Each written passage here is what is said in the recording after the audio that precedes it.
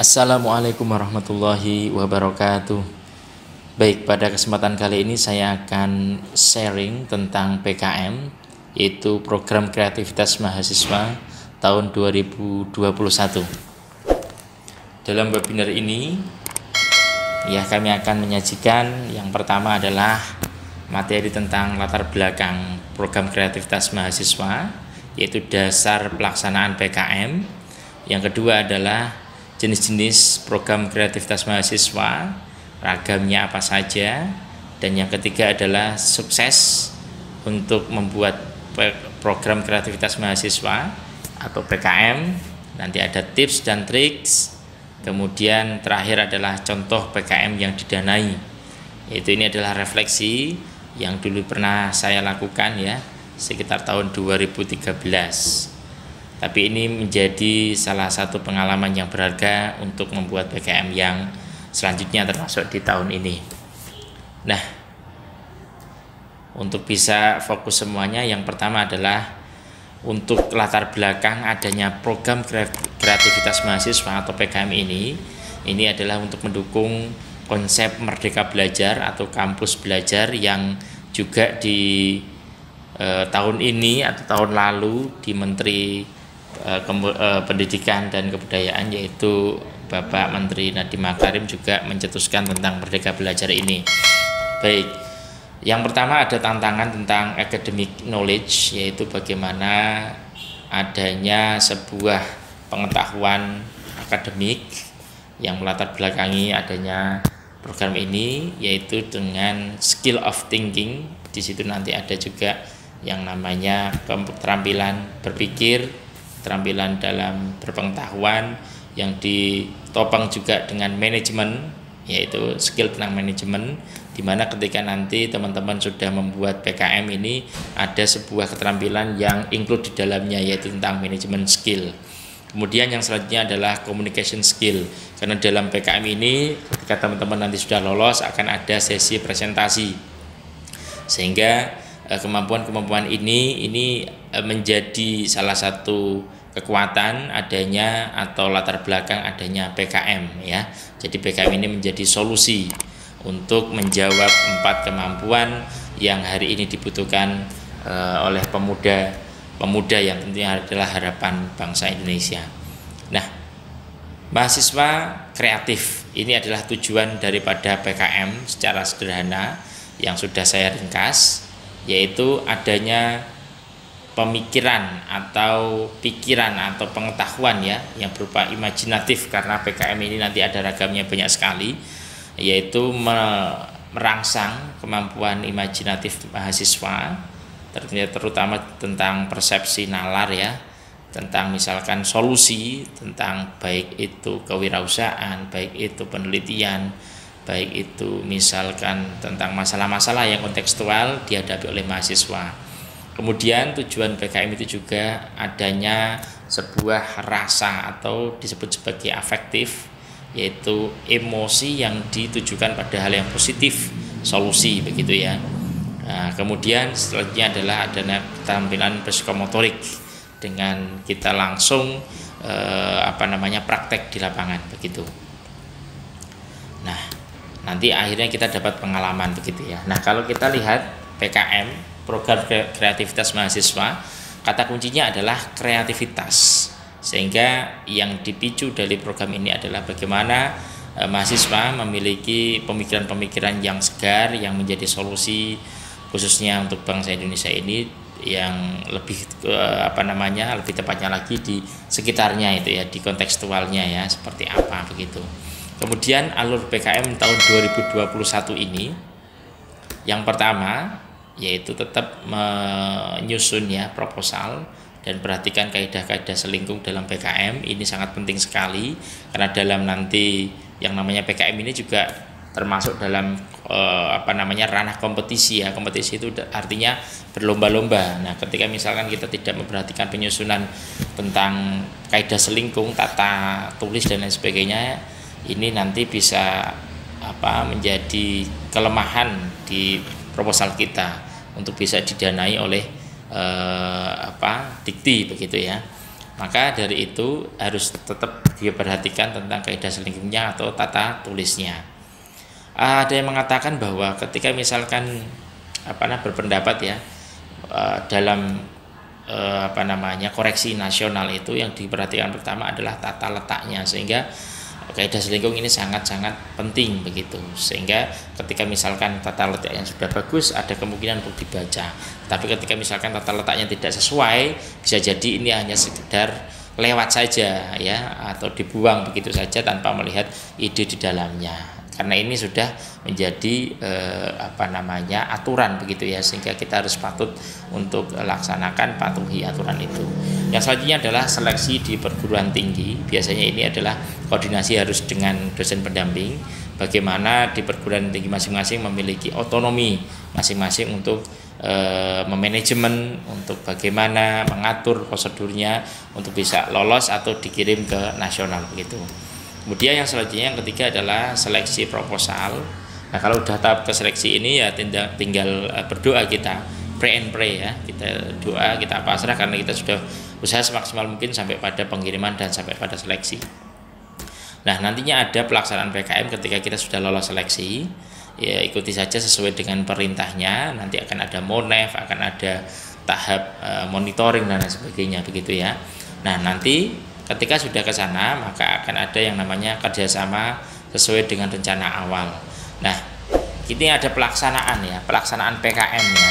Ini sesuai dengan rencana yang Anda buat semuanya. Sehingga ada kemungkinan nanti pelaporan itu sesuaikan dengan panduan dan insya Allah ketika nanti sesuai dengan panduan semuanya ada harapan untuk PIMNAS yaitu Pekan Ilmiah Mahasiswa Nasional gitu yang tahun ini kira-kira di UGM lagi begitu ya di Yogyakarta.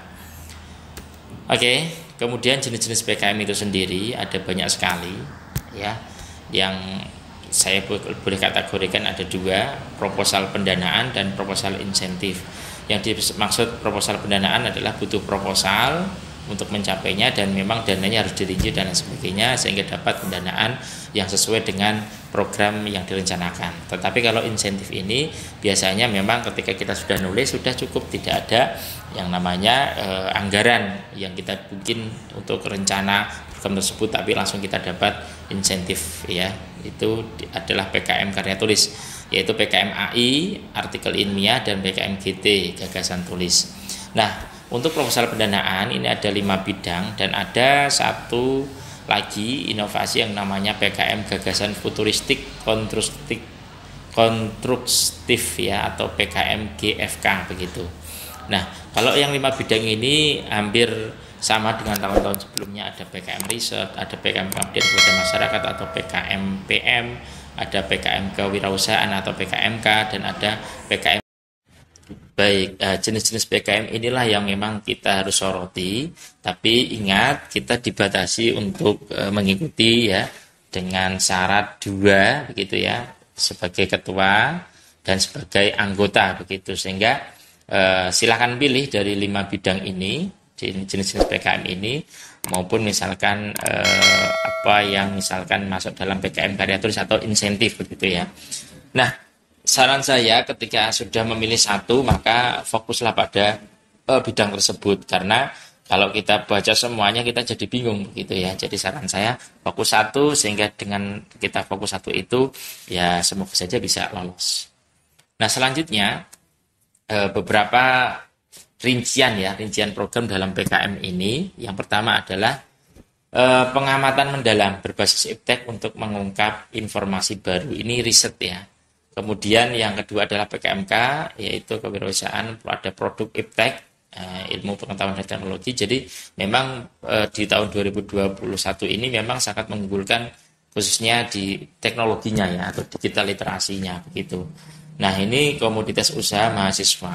Nah bagaimana ketika kita misalkan melihat suatu fenomena tertentu di lingkungan misalkan kampus kita atau kos kita atau kontrakan kita dan kita bisa menangkap itu sebagai suatu usaha yang kita bisa inovasikan atau kita berpikir kreatif suatu hal yang mungkin berupa limbah bisa menjadi sebuah hal yang menarik dan itu bisa dijual begitu ya. Memiliki nilai jual begitu nah ada juga PKM PM atau pengabdian masyarakat. Nah, ini ter terutama adalah penggunaan itu tadi iptek ilmu pengetahuan teknologi yang ini juga memiliki atau bagi mitra non profit ya. Ada sebuah mitra yang kita akan unggulkan ya terutama dengan pengabdian kita itu yang basisnya teknologi. Nah ada PKMPI ini adalah penerapan eh, apa namanya eh, ilmu ya ilmu eh, dan teknologi. Nah ini terutama juga tetap diangkat adalah tekniknya juga teknologi atau manajemen teknologi.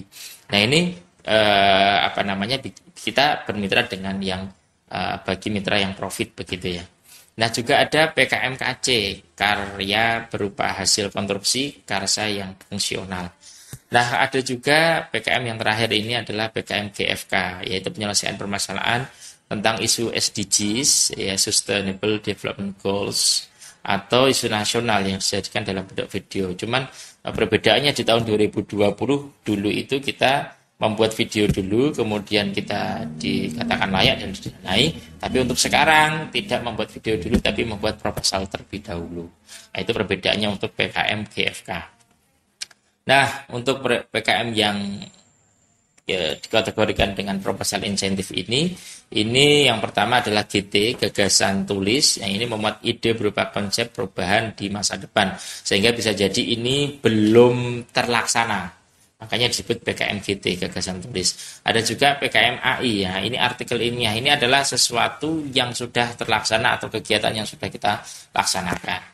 Misalkan hasil kegiatan akademik mahasiswa entah PPL, KKN dan lain sebagainya, Anda bisa tulis, kemudian Anda narasikan jadi sebuah tulisan dan itu menjadi artikel ilmiah begitu. Nah, artikel ilmiah untuk PKMI ini memang tidak masuk ke dalam uh, PIMNAS nantinya ya karena feedback paling akhirnya adalah uh, berupa jurnal begitu ya. Oke. Kita langsung ke uh, tips dan triks ya untuk PKM ini. Yang pertama yaitu pahami dulu tetap ya masalah isu terkininya. Kalau sekarang ini adalah isunya tentang daring karena di tengah-tengah pandemi ini ya bagaimana ya itu bisa Anda lihat dari berbagai perspektif sehingga dengan berbagai perspektif itu Anda bisa melahirkan karya-karya yang inovatif, yang kreatif, yang itu juga merupakan sebagai solusi atau solutif ya. Kemudian 30 persennya adalah pahami berulang-ulang tentang pedoman penulisannya. Karena sekali lagi tadi sudah saya katakan di awal pedoman penulisan ini sangat penting sekali karena ketika proposal kita tidak sesuai bahkan dibaca saja tidak ya kalau tidak sesuai langsung dibuang begitu. Bisa jadi seperti itu cara mengoreksinya. Nah 10 persennya adalah cermati ciri khas PKM yang Anda pilih. Jadi PKM Anda ini PKMK misalkan kreativitas atau kewirausahaan mahasiswa. Jadi fokuslah pada wirausaha itu begitu ya dan nanti tata tulisnya juga. Nah, 20% adalah referensi proposal tahun lalu. Tahun lalu 2020 siapa yang lolos terutama di PKMK, Anda bisa googling juga di situ ada banyak sekali beberapa universitas mengupload beberapa proposalnya yang sudah lolos ya. Mahasiswa-mahasiswa itu Anda bisa download, Anda bisa lihat, Anda bisa sandingkan dengan calon proposal Anda sehingga ini akan mempermudah cara kerja Anda. Ini seperti prinsip ATM, anut tiru modifikasi. Nah itu, nah, ini solusi terakhir ya ATM dengan melihat proposal PKM tahun lalu. Oke, okay? nah ini dan trik tips dan triknya ya semoga ini bisa bermanfaat untuk anda semua yang akan menggeluti, akan membuat PKM yang semoga tahun ini lolos. Ya syukur-syukur sampai nanti PIMNAS. Nah ini uh, contoh PKM yang dulu saya didanai ini masuk dalam PKMK Eh, bidangnya sosial ekonomi dan ini merupakan solusi waktu saya melihat di sekitar lingkungan kampus saya di Semarang itu waktu itu ada limbah dari tempurung kelapa yang tidak dimanfaatkan kembali sehingga ini menjadi power saya untuk eh, apa namanya mensonding ini mengkreativitaskan eh, sampah limbah tempurung kelapa ini menjadi sebuah karya yang bisa dijual, memiliki nilai jual. Nah, waktu itu saya memiliki apa ide untuk membuat tempat lampu hias pijar terentak, tentu dari limbah tempurung kelapa ini. Sehingga waktu itu akhirnya bisa lolos alhamdulillah ya tapi kekuatannya juga di kaidah selingkung, saya tetap menerapkan seperti tadi. Samping proposal yang sudah lolos, yang sampingnya lagi adalah calon proposal saya. Dan solusi limbah ini juga menjadi salah satu kekuatan ya. Eh, menurut saya dan ada pemonef juga, ya, karena ini menjadi solusi daripada limbah di uh, sekitar kita atau misalkan masalah di sekitar kita ya. Kemudian eh, waktu itu saya mengajukan dana sekitar 10 juta 300-an karena waktu itu masih 15 juta maksimalnya tapi untuk tahun 2021 ini yaitu maksimal 10 juta ya begitu ya. Dan waktu itu saya didanai disetujui 9 juta 850 ribuan. Dan ya modelnya harus tetap semangat tetap fokus dan memang setelah itu saya juga membuat eh, lagi tetapi memang belum lolos ya saya waktu itu membuat e, namanya orasi ini yang merupakan akronim ya onde-onde rasa buah hasil kreasi. Tapi untuk tahun 2021 ini untuk khusus judul Anda tidak boleh menggunakan akronim karena itu sudah aturannya. Nah saya rekomendasikan untuk tetap e, melihat em, di simpelmawa.kemendikbud.go.id ya. Dan ada buku panduannya juga yang sudah saya sajikan ini. Kemudian ada juga jadwalnya ya di sini. Silakan niat, nekat, bergerak, bukan diam diri. 60% menentukan kesuksesan Anda.